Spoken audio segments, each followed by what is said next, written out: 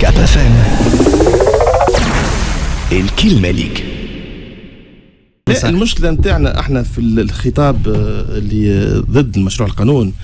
مشكلتنا انه ساعات نحسوا انه هذا الخطاب لا يدافع عن الدولة هذا الخطاب لا يدافع عن الشعب هذا الخطاب لا يدافع عن عدالة انتقالية هو خطاب يدافع على هيئة الحقيقة والكرامة وبتحديدا هذا خطاب يدافع على سهام بن سدرين هذا خطاب لا يدافع لا على المصلحة العامة ولا على الدولة. سامحني نقصك لحظة واحدة. ما عادش نقصك. لا لا لا لا. لا مش مش نحكي لك. لا واحدة. نحكي لحظة لك واحدة. لحظة واحدة. لحظة واحدة. في الموضوع هذا. نحب هذه لماذا لماذا لماذا أنا مش أنا باش نحكي على سهام سدرين لكن أشعر وعندي هكا الإحساس والشعور إنه الناس الكل تدافع على هذه الهيئه من يعارض القانون يدافع على بن سدرين وعلى هيئة بن سدرين وبالتالي خليني فإنه أتفاعل معاك في لحظة في الموضوع هذا. خنحط شغالة. الدولة عندك ونحط وقت، عندك المصلحه العامة ونحط العدالة الانتقالية في المحك وقدامنا هذيك هي الهدف الأساسي. وبالتالي أنا يقول لك بعد عام باش تسكر هي ال- أعمالها. هي إيش عملت؟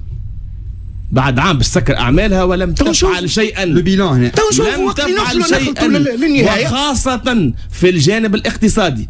لم تختم ولم تغلق هذه الملفات لا سلبا ولا تو ايجابا نقيموا قبل ما ينتهي العمل. طبعا هو عدنا نعرف كل شيء أنتم قلتوا شفافيه ما أعلنتوا فما أعلن- 680 ما هي هذه ملف الهيئة موجودين عند هذه الهيئة. لو توفرت أعمالها. تو تتسرع. سامحني، هذه الهيئة أعلنت على أعمالها علنا قدام الرأي العام وما سمعنا بحتى ملفات أغلقت بل بالعكس الناس القضاء العدلي قاعد يحكم عليهم وباب الحبس مفتوح أمامهم في أشياء شنو ما عندهم حتى الدفاع؟ بها سامحني وبالتالي فإنه هذه الهيئة بعد عام باش تسكر تقرير الأعمال نتاعها وتختم أعمالها دون أن تكون قد قامت بشيء هذا رجم بالغيب. وبالتالي لا يكون من الضروري هذا رجم بالغيب. هيئة رجم بالغيب. مستقلة هيئة مستقلة تواصل باز. وتختيمها في- في, في- كلمة هدف. وطني